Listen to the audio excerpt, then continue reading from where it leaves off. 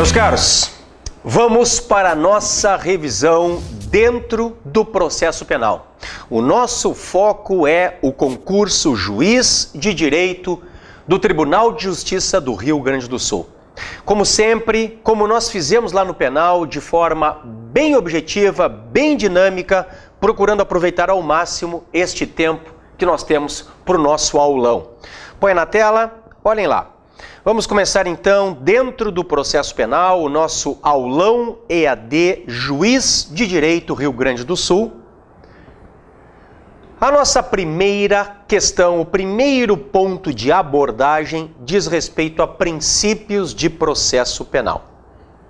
Eu começo te mostrando a diferença entre a ampla defesa e a plena defesa.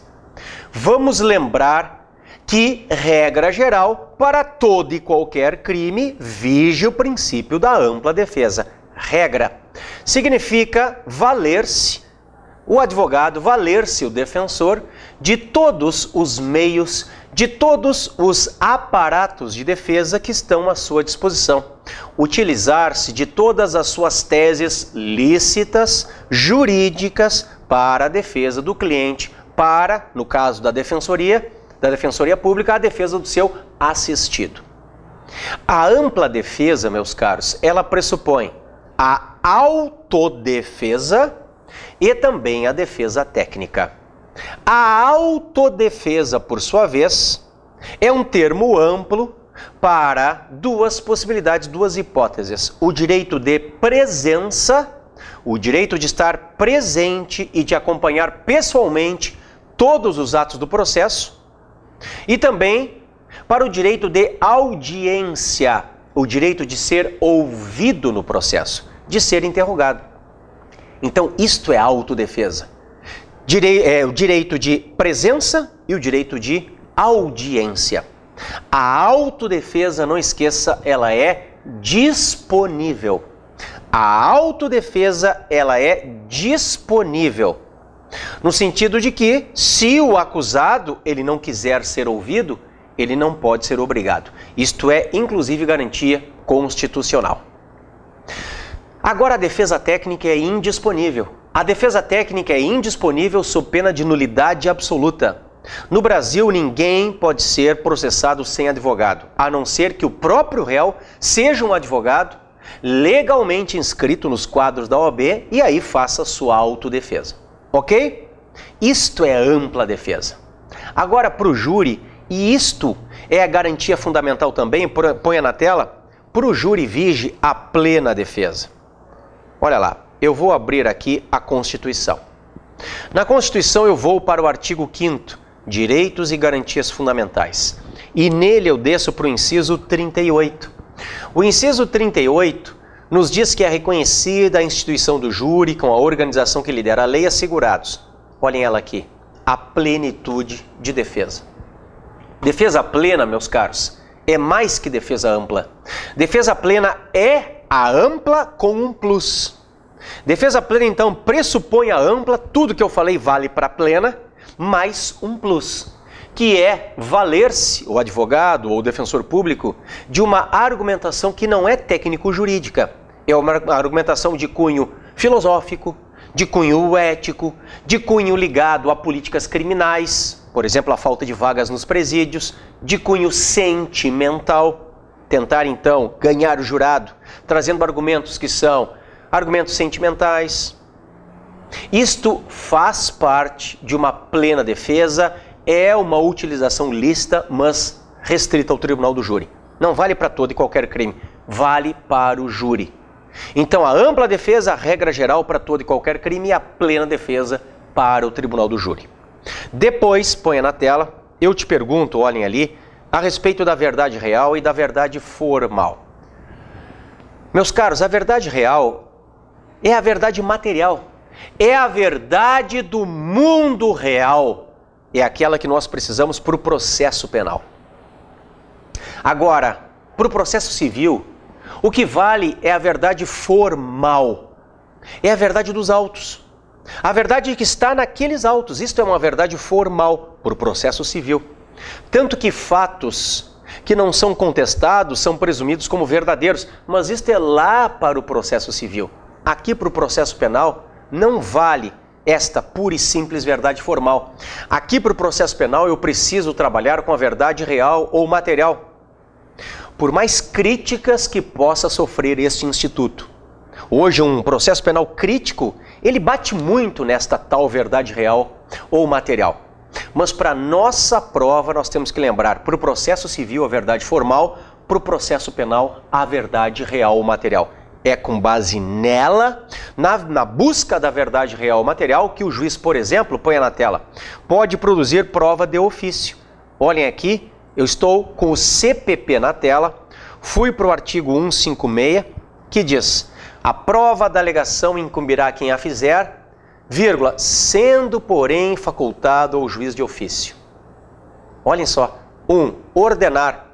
Mesmo só um pouquinho. Ordenar, vírgula, mesmo antes de iniciada a ação penal, a produção antecipada de provas consideradas urgentes e relevantes, observando a necessidade, adequação e proporcionalidade da medida.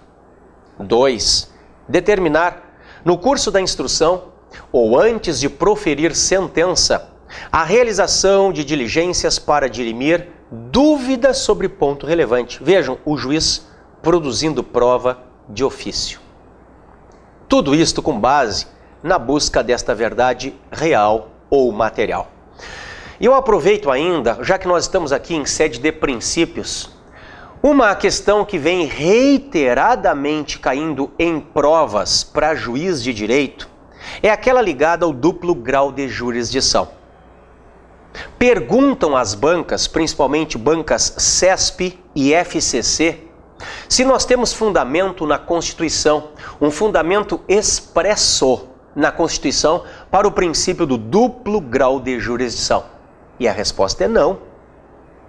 Por mais incrível que isto possa parecer, meus amigos, o princípio do duplo grau de jurisdição não encontra assento expresso na Constituição Federal. É claro que nós podemos chegar a ele a partir de uma interpretação sistemática, ou seja, a partir de uma previsão implícita do texto, no texto constitucional. Como assim, professor? Como assim uma previsão implícita? Bom, a partir da visão da própria disposição hierárquica do Poder Judiciário. Como é que o Poder Judiciário está organizado na Constituição? Ah, começa com o juiz, depois a Constituição fala num tribunal, seja o TJ, seja o TRF. Depois ela fala no STJ, artigo 105, fala no STF, artigo 102. Então a Constituição divide o Poder Judiciário em graus. Então, de forma implícita, ela está assegurando o duplo grau de jurisdição. Agora, de forma expressa, o princípio do duplo grau de jurisdição não está na Constituição Federal, mas sim, anote aí porque é importante, no Pacto de São José da Costa Rica. Ou seja, na Convenção Interamericana de Direitos Humanos, que é de 69, mas foi promulgada pelo Brasil em 92 por meio do decreto 678. E lá no Pacto de São José da Costa Rica, você vai para o artigo 8 item 2, letra H. Lá está, de forma expressa, o princípio do duplo grau de jurisdição, previsto, portanto, na Convenção Americana de Direitos Humanos, ou pode ser que caia Pacto de São José da Costa Rica, e não previsto expressamente na Constituição Federal. Joia? Põe na tela. Segundo ponto de abordagem, teoria geral da prova. Vamos a ela? Sistemas de avaliação da prova no Brasil. Meus amigos, temos que lembrar dos três. Sistemas de aferição ou de avaliação da prova no Brasil. Há um primeiro, que é o da íntima convicção. Este sistema da íntima convicção também é chamado de sistema da certeza moral do juiz, onde o juiz ele tem plena liberdade na avaliação da prova e não precisa fundamentar as suas decisões. Este sistema não é adotado no Brasil, salvo por exceção no tribunal do júri. Porque os jurados, dizendo sim ou não, sem necessidade de fundamentarem as suas decisões, julgam por íntima convicção. O segundo sistema de avaliação da prova no Brasil é o sistema da prova tarifada, da prova legal ou da prova regrada, também chamado de sistema da certeza moral do legislador. Agora é a lei que estabelece graus distintos de avaliação, graus distintos de ponderação entre uma prova e outra. Ah, esta prova vale um, esta vale dois.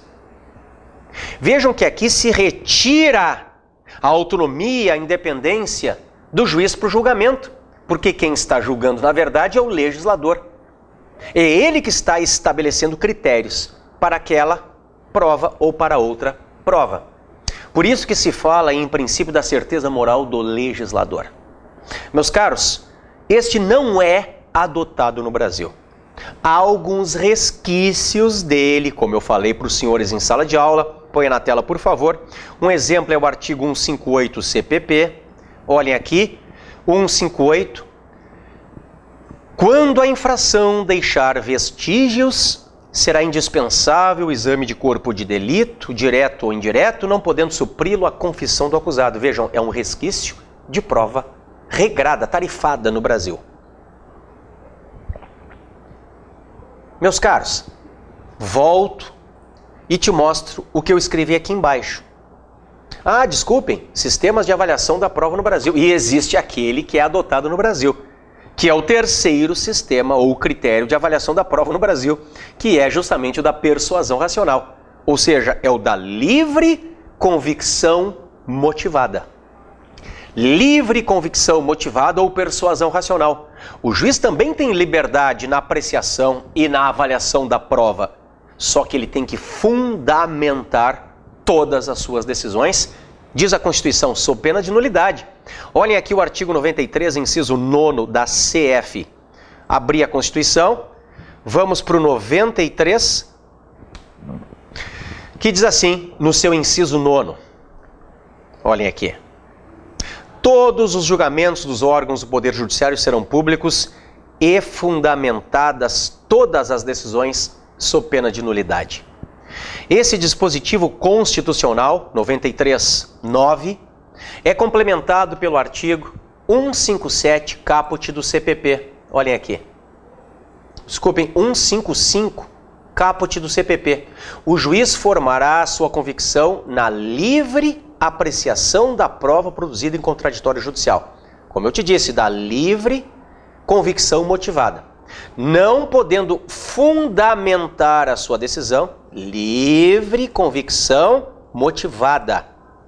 Exclusivamente nos elementos informativos colhidos na investigação, ressalvadas as provas cautelares, não repetíveis e antecipadas. Agora sim, eu te coloquei prova ilícita por derivação para que tu lembres da teoria dos frutos da árvore envenenada.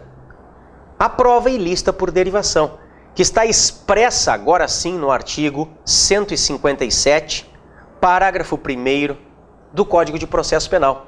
São inadmissíveis, devendo ser desentranhadas do processo as provas ilícitas, assim entendidas as obtidas em violação a normas constitucionais ou legais. Agora, são também inadmissíveis as provas derivadas das ilícitas. Aqui estão elas. As ilícitas por derivação. Meus caros, aqui está a teoria dos frutos da árvore envenenada. Mas lembrem, ela vem mitigada em dois casos: nexo causal, põe na tela por favor, e fonte independente. Olha lá. São também inadmissíveis as provas derivadas das ilícitas, salvo quando Primeira mitigação. Não evidenciado o nexo de causalidade entre umas e outras. Ou seja, se as derivadas não possuem relação de causalidade com a prova original, aí não há contaminação. Ou segunda mitigação, quando as derivadas puderem ser obtidas por uma fonte independente das primeiras. Olhem a segunda mitigação. E o parágrafo segundo diz: considera-se fonte independente aquela que por si só, seguindo os trâmites típicos e de praxe, próprios da investigação ou instrução criminal, seria capaz de conduzir ao, objeto, ao fato objeto da prova. E, meus amigos, eu aproveito o ensejo aqui e te pergunto: existe alguma hipótese que venha reconhecida pela doutrina em que nós podemos trabalhar com prova ilícita dentro do processo penal? Existe alguma hipótese reconhecida pela doutrina e excepcionalmente pela jurisprudência em que a prova ilícita é admitida no processo penal? Eu quero que você lembre, em sala de aula eu fiz uma explanação bastante longa a respeito da teoria do interesse preponderante. Quando esta prova ilícita ela for obtida por um acusado como sendo o único meio de comprovação da sua inocência. Este acusado arromba a casa, quebra o cofre, pega os documentos porque lá está a prova da sua inocência.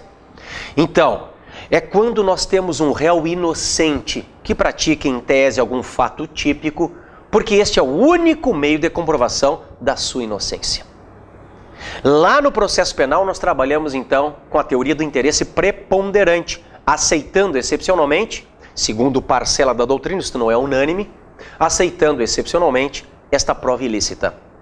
No penal, no direito material, você poderia muito bem trabalhar com as teses ou do estado de necessidade ou da própria inexigibilidade de conduta diversa. Põe na tela, por favor.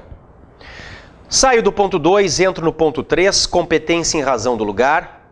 Regra geral, crimes permanentes e continuados, crimes à distância e crimes plurilocais. A regra geral da competência em razão do lugar, a competência territorial, é, meus amigos, o artigo 70 do CPP. É o lugar da consumação. Esta é a regra geral, artigo 70 do CPP, onde o crime se consumou teoria do resultado. Aí, nós temos depois ali, põe na tela, os crimes permanentes e continuados, que são resolvidos pela prevenção do 71 CPP. Olhem aqui. CPP, voltei para o 71. Olhem aqui. 71. Tratando-se de infração continuada ou permanente, praticada em território de duas ou mais jurisdições, a competência afirmar-se-á pela prevenção. E eu aproveito e te lembro da súmula 706 do STF que diz: se for inobservada regra atinente à prevenção, isto gera no máximo nulidade relativa. Súmula 706 STF. Volte ali. E aí eu te trago crimes à distância e crimes plurilocais, te lembrando que os crimes à distância são aqueles em que a conduta ocorre em um país e o resultado se produz em outro país. E os crimes plurilocais, aqueles que ocorrem em uma comarca e o resultado se produz em outra comarca. Então vem aqui comigo. Se eu tenho um crime à distância, chamado de crime de intervalo ou de espaço máximo, eu tenho a conduta no país A e o resultado no país B. Bom, eles se resolvem com a ubiquidade, lá do artigo 6 do Código Penal. Agora, se eu tenho um crime plurilocal, eu tenho a conduta na comarca A e o resultado na comarca B, ambas dentro do mesmo país. Aí você trabalha com o artigo 70 caput CPP. Resolva com a teoria do resultado. A competência é fixada pelo lugar da consumação. Nós trabalhamos em sala de aula aquela questão excepcional do homicídio, em que a jurisprudência vem admitindo uma exceção à teoria do resultado e trabalhando com a teoria da atividade. Põe na tela, por favor. O nosso quarto ponto de enfrentamento diz respeito à competência e razão da matéria. Competência do júri. Bom, o júri, meus amigos, ele tem competência para o julgamento dos crimes dolosos contra a vida, que são quatro: o homicídio doloso, 121. A participação em suicídio, 122. O infanticídio, 123 e os crimes de aborto, 124 a 127 do Código Penal, mas também os conexos. Dolosos contra a vida e conexos. Põe na tela. Já a Justiça Militar, ela só julga crimes militares previstos em lei. Ela não julga os conexos. É por isso que nós temos, eu vou colocar para você a súmula 90 do STJ na tela, que está ela, ó. Súmula 90 do STJ que diz: compete à justiça militar a Justiça Estadual Militar processar e julgar o policial militar pela prática do crime militar. Vírgula. E a comum pela prática do crime comum simultâneo àquele. Meus caros, súmula 90 do STJ, a Justiça Militar não julga crimes conexos, crimes comuns, ela julga crimes militares. Ponto. Então, se um militar em serviço pratica um crime militar e um crime comum, disjunção, separação. Militar vai para a justiça militar, o comum para a justiça comum. Não esqueça que abuso de autoridade é crime comum. Ainda que praticado por militar em serviço, justiça comum. Súmula 172 do STJ. Põe na tela. Eu te pergunto depois a respeito da competência da Justiça Eleitoral e te lembro do Código Eleitoral que está aqui, a Lei 4737 e o seu artigo 35. Compete aos juízes, aos juízes eleitorais, né? Olhem aqui, processar e julgar os crimes eleitorais e os comuns que lhe forem conexos. Então vejam, meus amigos, ao contrário da justiça militar, que só julga crimes militares, não julga também os conexos, nós temos que separá-los. A justiça eleitoral julga os eleitorais e os conexos a eles, salvo se o conexo é crime de júri. Se o conexo é crime de júri, você manda para o júri o conexo e o eleitoral para a justiça eleitoral. Só neste caso, se não for de júri, a justiça eleitoral julga todos. E por fim, eu coloco ali contravenção penal praticada em detrimento de bem da União, te lembrando, primeiro lugar da Constituição Federal, lá do artigo 109, que vai dizer que isto vai para a Justiça Estadual. Olhem aqui, aos juízes federais compete processar e julgar. 4. Os crimes políticos e as infrações penais praticadas em detrimento de bens, serviços ou interesse da União ou de suas entidades autárquicas ou empresas públicas, excluídas as contravenções. Então, ainda que a contravenção seja praticada em detrimento de bem, serviço ou interesse da União, vai para a Justiça estadual. É o 109.4 da Constituição, como é também a súmula 38 do STJ. Olhem aqui.